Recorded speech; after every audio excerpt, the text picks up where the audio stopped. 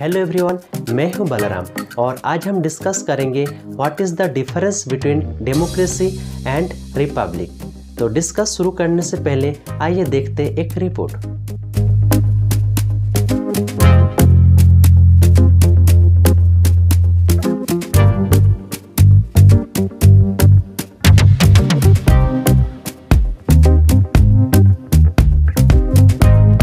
लोकतंत्र और गणतंत्र की विशेषताओं को देखते हुए कोई लोग डेमोक्रेसी को रिपब्लिक कहते हैं।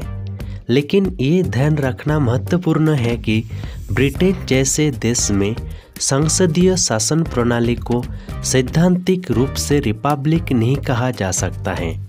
इस प्रकार लोकतंत्रों में जहाँ राज्यों के प्रमुखों को प्रत्यक्ष या अप्रत्यक्ष रूप से लोगों द्वारा एक निश्चित अवधि के लिए चुना जाता है, उसे रिपब्लिक कंट्री कहा जाता है।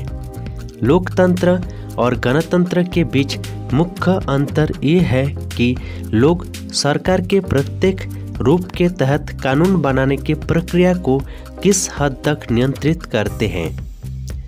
लोकतंत्र और गणतंत्र के बीच अंतर ये है कि गणतंत्र सरकार का एक रूप है, जबकि लोकतंत्र एक विचारधारा है, जो एक सरकार चलाने के तरीके को आकार देने में मदद करती है। गणतंत्र सरकार की प्रणाली है, जो एक देश को लोकतांत्रिक होने के अनुमति देती हैं। इसलिए जब लोग लोकतंत्र या डेमोक्रेसी और गणतंत्र या रिपब्लिक शब्दों का परस्पर उपयोग करते हैं तो वे वास्तव में एक ही चीज़ नहीं है। The word democracy comes from Greek word demokratia Greek word demos means people and kratia means rule So democracy means rule by the people.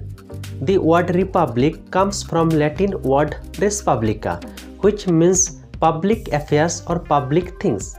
Democracy is a form of government in which rulers are elected by the people.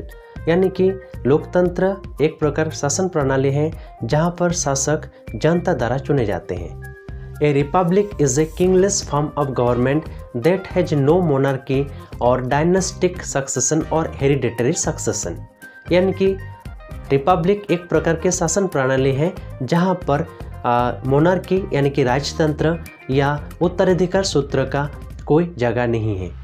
Freedom and freedom of speech and freedom of expression is the essential features of any democratic country.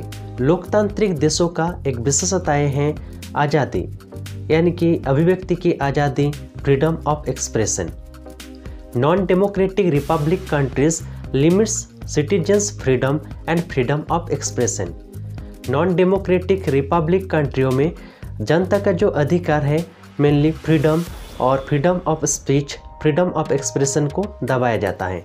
United States India both are democratic and republic countries यानी कि भारत और America में democratic और Republic दोनों प्रकार के शासन प्रणाली उपलब्ध है।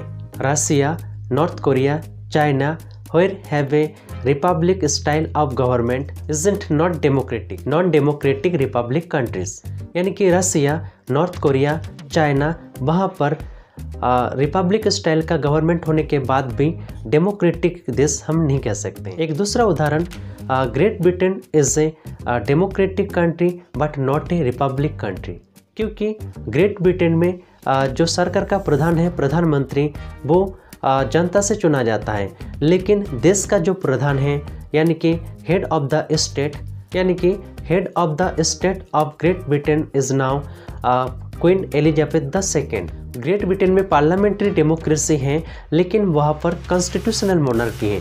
तो आशा करता हूँ आप समझ गए होंगे। तो इस क्वेश्चन का आंसर किस तरह लिखना है तो आइए देखते हैं। Difference between democracy and republic you have probably already noticed that republics and democracies have a lot in common namely that they both are systems where the power to govern rests with the people. So, what is the difference in a republic versus a democracy? Difference between democracy and republic. The word democracy comes from a Greek word democracia. In Greek, demos means people and krasia means rule. So democracy is ruled by the people. The word republic comes from the Latin word res publica, which means a public affair.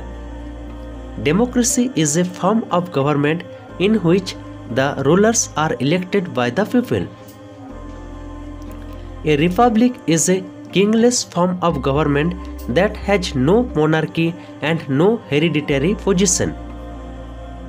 According to Abraham Lincoln, democracy is government of the people, by the people, and for the people. According to Madison, a republic is a government where direct and indirect source of all powers is the people. This government is elected for a fixed term. Freedom or freedom of speech and expression is one of the essential features of any democracy. Non-democratic republic countries limits citizens' freedom including suppressing free speech. United States, India are both democratic and republic country. Russia, North Korea, China, where have republic style government isn't democratic. These are non-democratic republic countries.